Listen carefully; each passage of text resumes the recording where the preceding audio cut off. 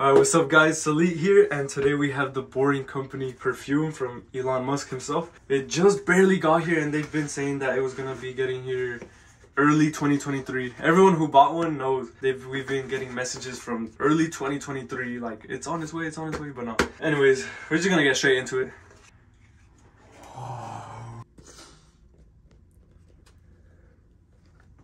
Hey, that looks crazy. Essence of repugnant desire. Alright, let's take it out, guys. Hey, it's suede.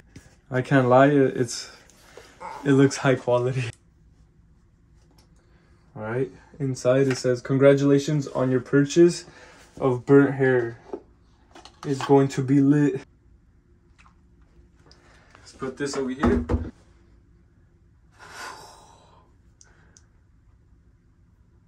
It's not even full all the way. Should we smell it? You want to? We gotta do a. Sm- I'm not gonna spray it.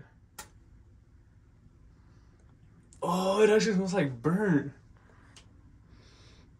Oh no, that thing smells like barbecue, bro. So- oh, that smells it nasty. smells like corn.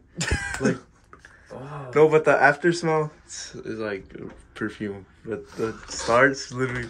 Nah, oh, nah. Guys, if you're watching this, most definitely don't waste a hundred bucks on burnt hair. The purpose of this is literally for a collector's item because I'm not wearing this ever. Thing smells like.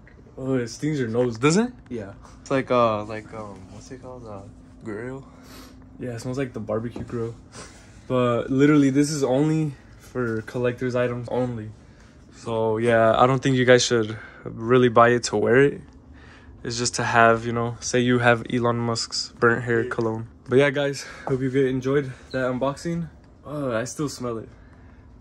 Leave a like, comment.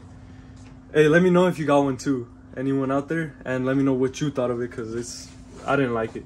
But I don't think I'm supposed to like it. But anyways, I'll see you guys next time. Uh, subscribe. We're almost at 4,000 subscribers. I'll see you guys next time. Peace.